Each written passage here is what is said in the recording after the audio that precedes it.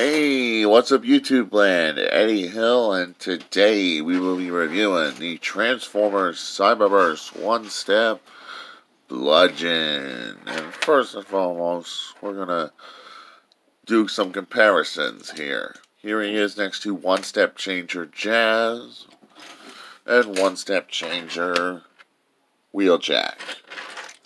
Scale with these one steps where I got this. I got this for 15 oh wait. I I forget how much I paid for it. It's been a while since I've checked that, but I got this for Oh wait, I remember now, 10 bucks. I paid 10 bucks for this from Amazon. To transform this thing is very simple. You're to push these legs together and boom. There we got Bludgeon in his robot mode. Now let's get down to actual comparison. In robot mode, we're going to compare Bludgeon with none other than his long with Wheeljack.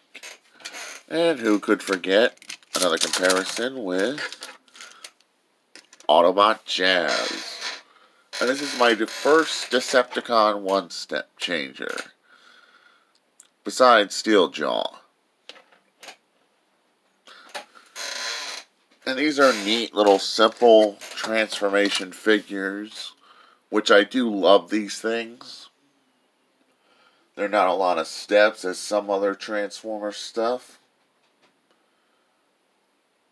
They're fun to mess around with. And that's all there is to say.